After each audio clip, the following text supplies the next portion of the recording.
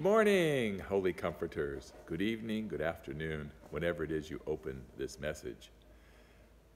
As I record this message today, I'm sitting in the most beautifully decorated church. Absolutely gorgeous in preparation of our two services tonight uh, at 5 and 10.30. I hope you were able to attend one of them uh, to worship with us or uh, went online for the services and watched and worshiped with us via those efforts of David Day um, and Stan Williams. God bless them both. Uh, the programming is just gorgeous and beautiful and seamless.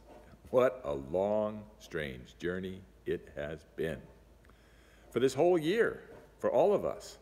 And I hope you were able to come tonight and thank God and bless God uh, for the care we have received from each other and from the Lord Jesus and the Holy Spirit, the Holy Comforter.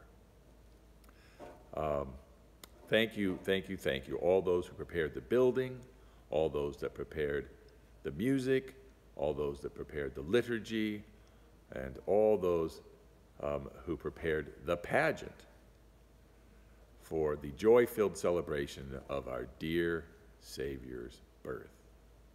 God bless you and thank you all. Uh, Saturday, Christmas Day, service at 10 a.m. Come as you are. Uh, wear your new Christmas sweater, your new Christmas socks, or haberdashery, but come as you are.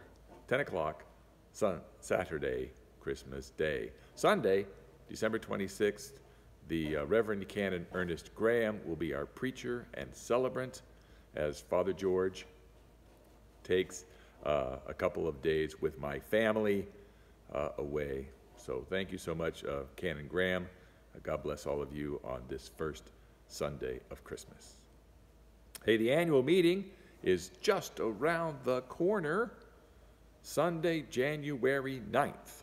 Sunday, January 9th, uh, two Sundays from now, the election of vestry, election of delegates to diocesan convention, uh, updates on mission and ministry plans for 2022, and the presentation of the budget that will fuel those plans.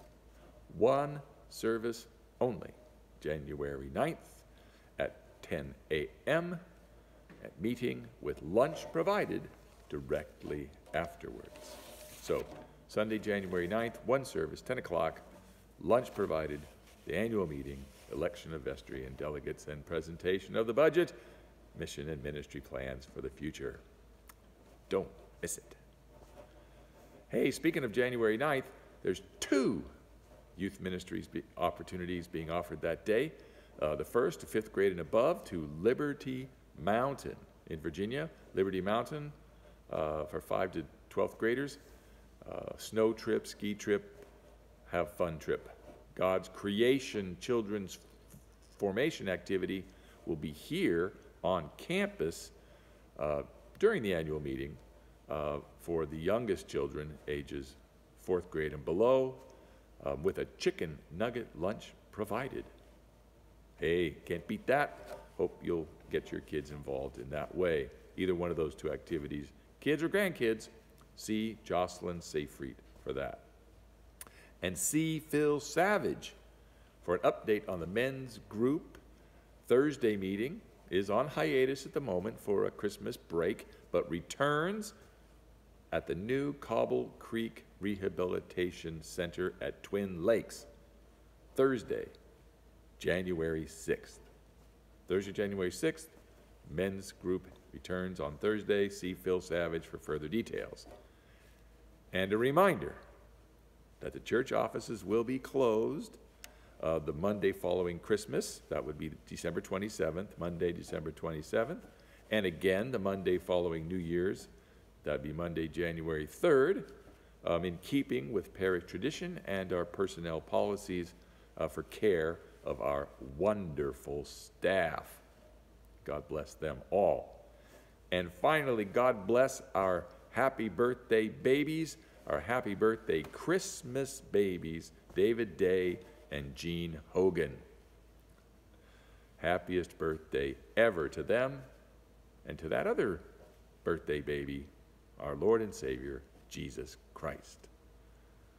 To all of you, God bless you, God be with you, and I'll see you in church.